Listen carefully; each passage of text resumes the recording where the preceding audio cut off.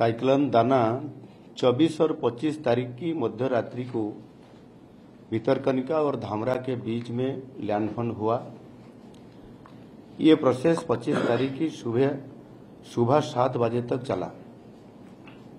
उसके प्रभाव से केंद्रापड़ा के राजकनिका और राजनगर ब्लॉक तथा भद्रक के धामरा और चांदवाली में तेज हुआ। 80 से 100 किलोमीटर तक चला। तथा करीब 40 से 100 मिलीमीटर तक बारिश हुई। प्रशासनिक तत्परता और त्रुटिशून्य प्रबंधन के चलने से कहीं भी कोई जानमाल की खेती नहीं हुई।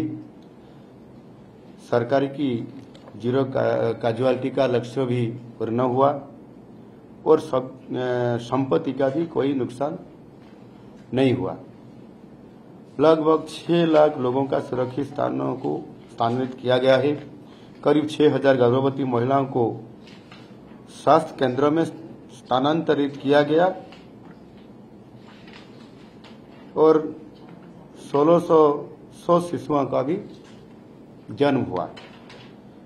एयरपोर्ट में फ़्लाइट सर्विस बिल्कुल अभी नॉर्मल पर आ गया और 9 बजे में भुवनेश्वर में पहली फ़्लाइट लैंड भी करेगी।